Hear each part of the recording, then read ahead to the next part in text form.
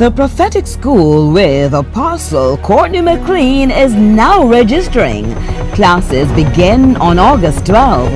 For prophecy never had its origin in the human will, but prophets, though human, spoke from God as they were carried along by the Holy Spirit. 2 Peter 1:21.